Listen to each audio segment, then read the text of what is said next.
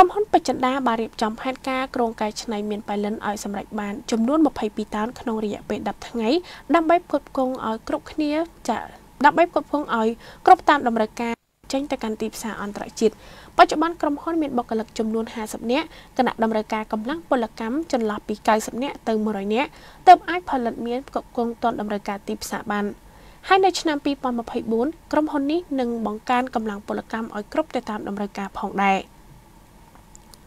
អគ្គនាយកក្រុមហ៊ុនពេជ្រចិន្តាលោកឆាក់សារ៉ាបានលើកឡើងថា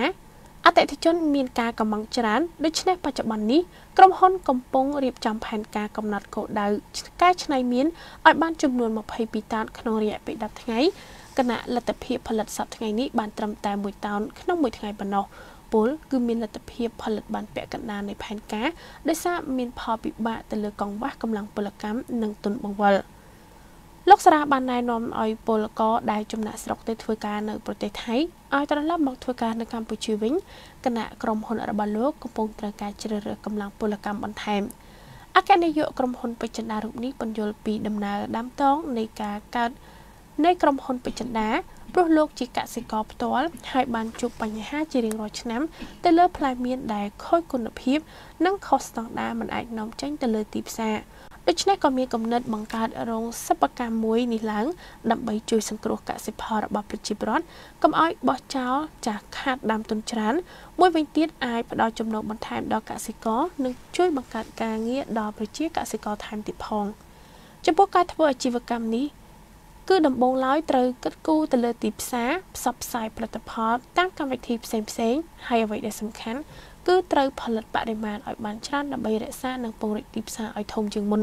ស្របជាមួយគ្នានេះដែរលោកសារ៉ាបានបដិញ្ញាចិត្តកែច្នៃមានស្រស់ដោយធ្វើយ៉ាងណាប្រកបដោយអនាម័យខ្ពស់និងតាមស្តង់ដារបច្ចេកទេស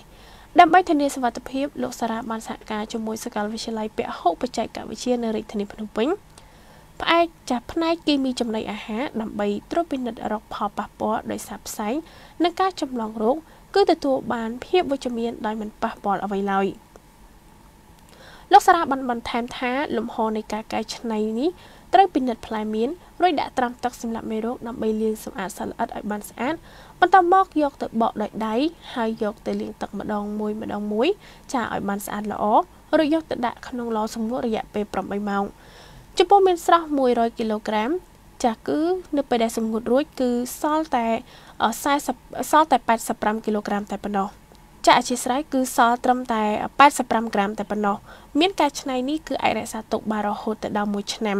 បើតាមអគ្គនាយកក្រុមហ៊ុនរូបនេះដំណាំហូបផ្លែមិនដូចដំណាំស្លឹកនោះទេព្រោះវាត្រូវពិនិត្យទៅតាមស្តង់ដារ ទើបអាចនាំចេញបាន ហើយនៅសល់30%ដែលមិនអាចនាំចេញទៅទីផ្សារខាងក្រៅដែលមានរូបរាងតូចជ្រុលធំពេកនិងមានស្នាមឆូតជាដើម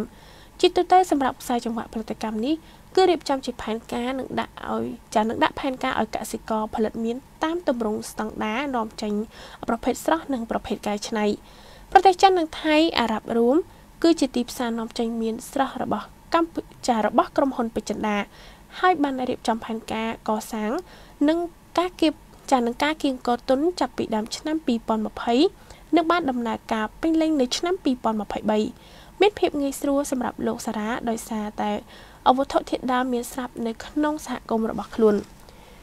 បើយោងតាមរបាយការណ៍ឆ្នាំ2023កន្លងមកនេះកម្ពុជាបាននាំចេញនៅផ្លែមានស្រស់ទៅកាន់ប្រទេសចិនគឺមានចំនួនប្រមាណជា17,000តោនហើយ ចាគិតជាទំហំទឹកប្រាក់ចំនួន24លានដុល្លារអាមេរិកកម្ពុជាមានក្រុមហ៊ុនវិកចាប់កែច្នៃមានចំនួន12កន្លែងនាពេលបច្ចុប្បន្ននេះការនាំចេញផ្លែមានស្រស់ក្នុងខែមករាឆ្នាំ2024មានចំនួនចាំមានចំនួន6438តោនកើនឡើងជាង200%បើប្រៀបធៀបនឹងរយៈពេលដូចគ្នាទៅនឹងឆ្នាំ2023